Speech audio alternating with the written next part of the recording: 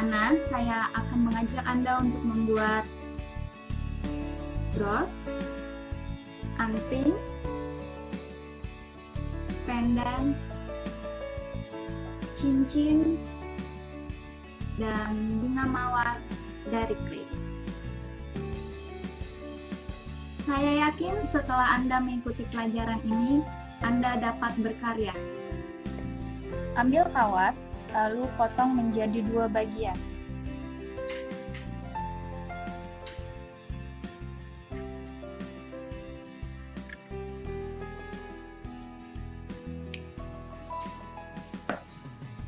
Setelah itu, kemudian buat lengkungan, ambil clay,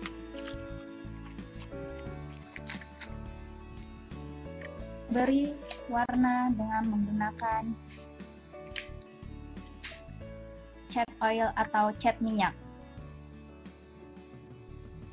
Kemudian diuleni atau diremas-remas hingga warnanya tercampur rata.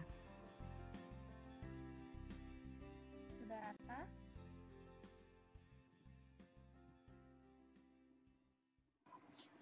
Ambil sedikit clay, kira-kira 1 cm, kemudian beri lem pada kawat yang sudah dibuat lengkung. Kemudian letakkan clay pada kawat tersebut. Dan buat seperti pucuk bunga. Ambil sebuah kawat dan potong menjadi tiga bagian sama panjang. Untuk membuat daun, siapkan clay berwarna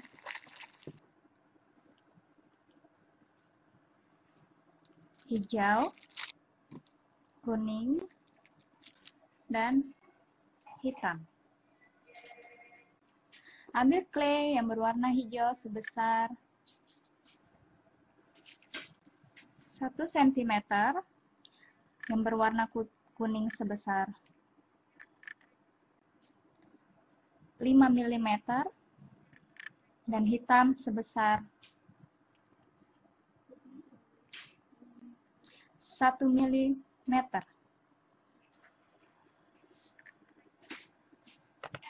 Kemudian diuleni agar tercampur rata.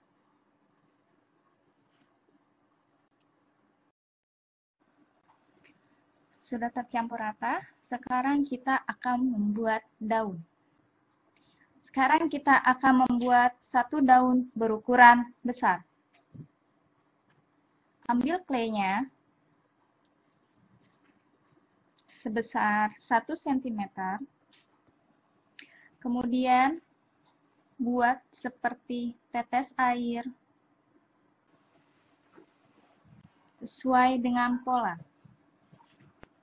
Kemudian, pindahkan clay tersebut pada pola yang berada di sebelahnya.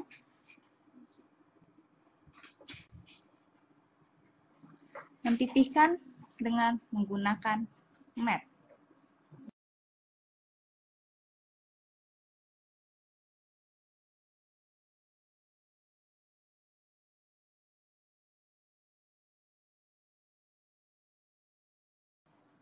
Sekarang kita akan membuat dua buah daun berukuran kecil. Ambil clay sebesar 8 mm.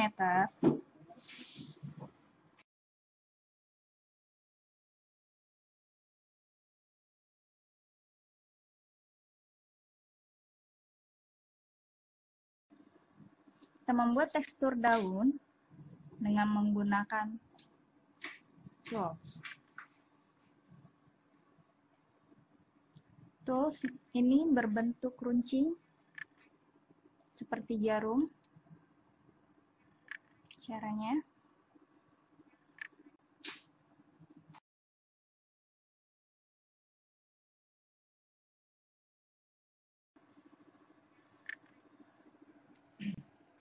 kita buat lagi.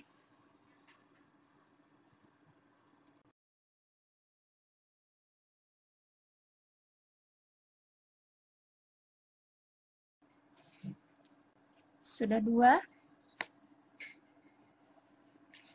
kita buat satu lagi.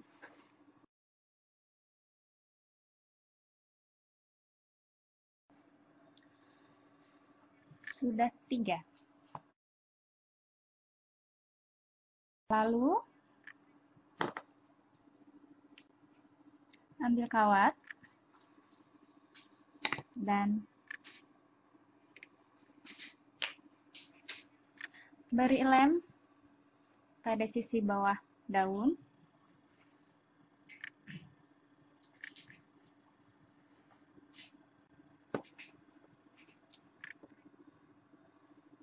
Sisipkan kawat,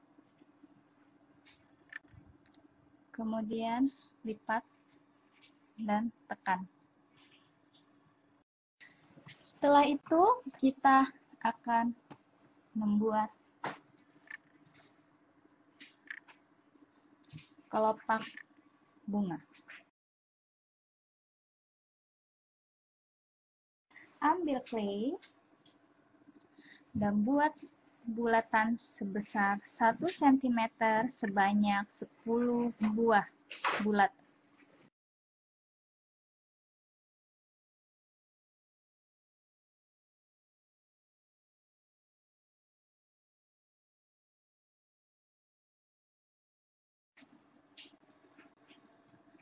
Sepuluh buah bulatan.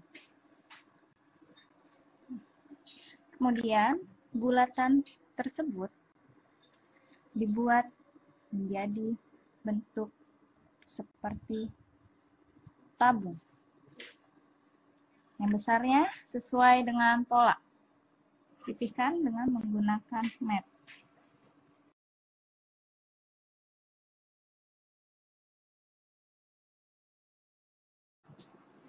Dan buat sebanyak 10 kelopak bunga.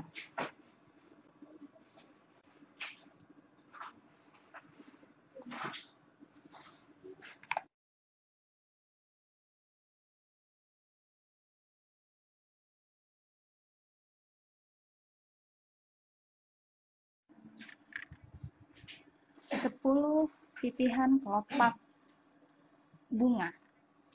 Kemudian untuk membuat lengkung, pipihkan dari sisi samping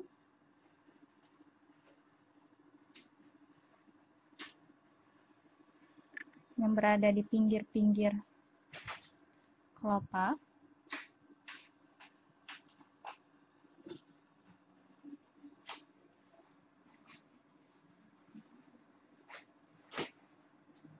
Setelah itu, baru bagian tengahnya dipipihkan, ditekan-tekan.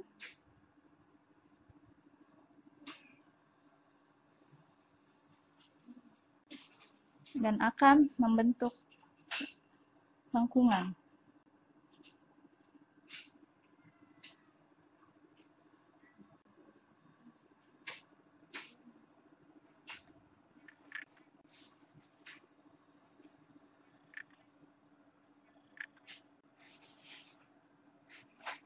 Dan buatlah sebanyak 10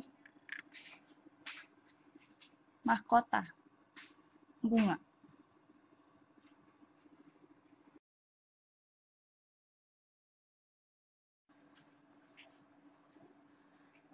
Sepuluh lengkungan kelopak bunga.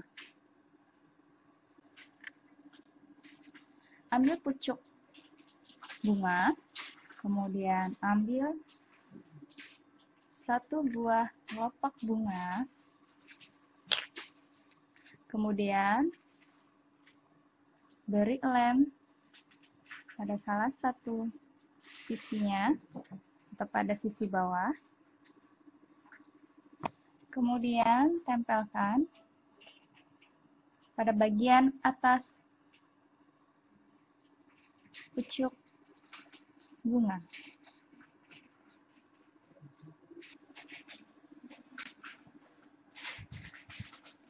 Setelah itu, ambil lagi satu, memberi lem, dan tempelkan pada bagian atas pucuk bunga.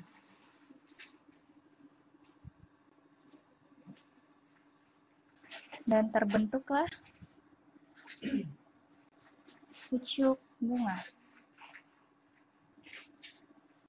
Lalu kita akan mulai merangkai kelopak bunga. Ambil satu buah kelopak, kemudian beri lem.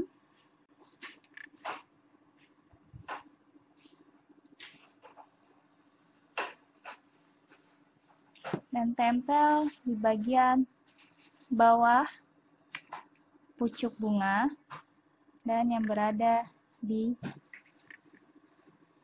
tengah-tengah antara kucup pertama dan kucup kedua.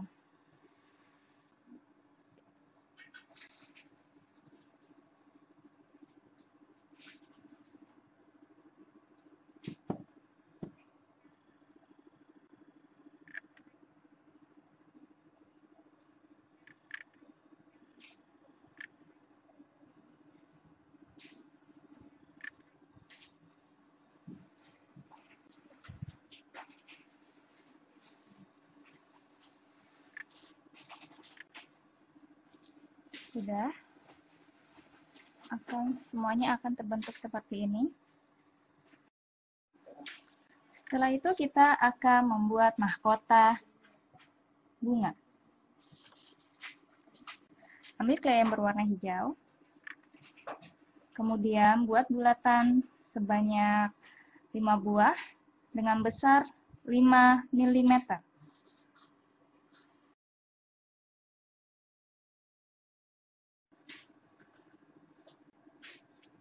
Satu, dua, tiga, empat, lima.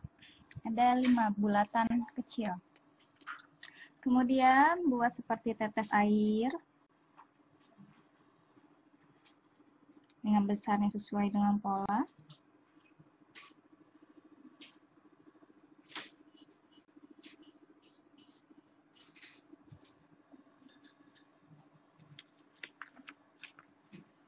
Setelah itu dipipihkan.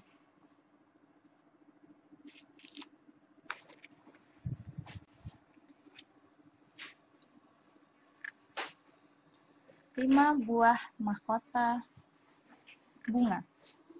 Lem pada bagian yang tidak runcing.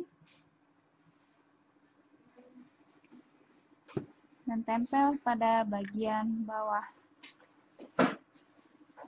kelopak bunga.